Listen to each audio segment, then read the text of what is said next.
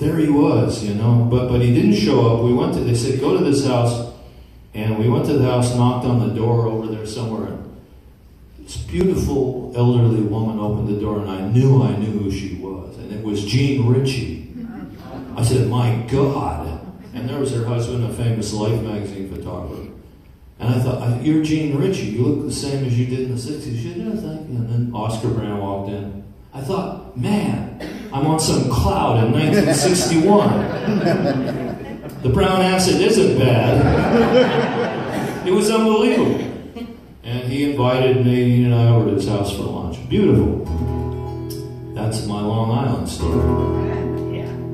But uh, what was this? Oh, East of Woodstock. I did this on the Letterman show. This is the last one I did on David's show. Uh, and it was the very night that he was having a moral crisis. Oh. I had n- I had no idea. I was in the dressing room munching on the free cookies, and uh, there on the screen he admits he's being blackmailed for sleeping with the entire staff. I got up and locked the door. Security! Unbelievable. But and I thought, this isn't funny. This skit isn't funny, David. And I found out it was real. You, you seldom see a moment like that. Of course, he was smart enough to cop to it, so the show did very well for us. but we sold a few. But um, anyway, this is a song about uh, the year I spent in West Africa in 1969 teaching criminology. I know a lot of you don't believe that. I was six years old. Youngest criminology teacher in the business. Nobody else would go. Get the kid to go. Because the Biafran War was on. It's like I had no clue about this stuff. I found out rather quickly. But uh, anyway, I had my degree and they sent, sent us over there and I learned a lot. But uh, that's when I decided to uh, go back and play guitar. And It was during a theater riot uh, in Nigeria. Uh, Neil Armstrong was landing on the moon in a documentary newsreel. The whole theater was drunk and rioting because the moon is sacred to the earth. That shit now, that shit. He's not on moon, he's in Arizona. And I said, yeah.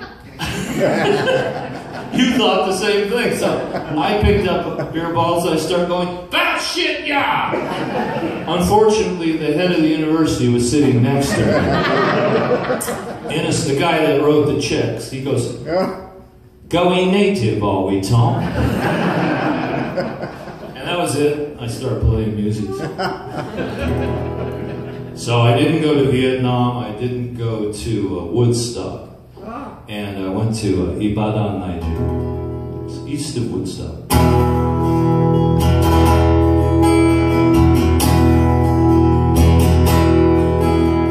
Slept through the 1960s. I heard Dory Previn say, Yeah, me, I caught me a great white bird to the shores of Africa. Where I lost my adolescent soul to the sound of the talking drums. Yeah, east of Woodstock, west of Vietnam.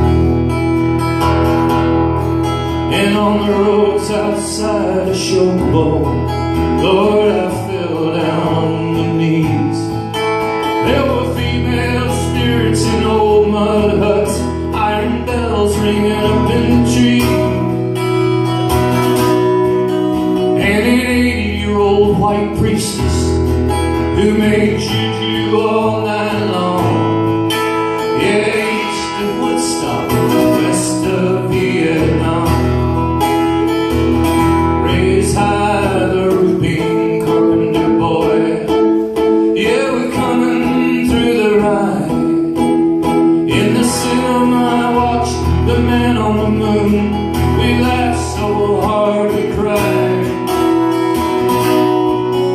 It was somewhere in those rainy seasons I learned to carve my songs Yeah, east of Woodstock, west of Vietnam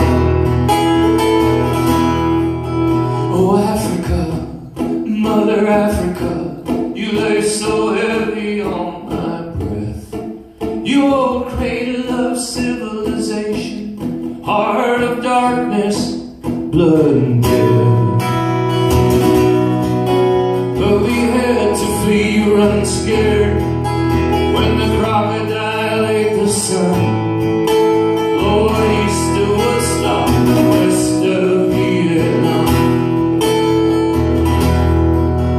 Well, I think it's gonna rain tonight. I can smell it coming off the sage. As I sit here reading old Graham Greene, I taste Africa on every page.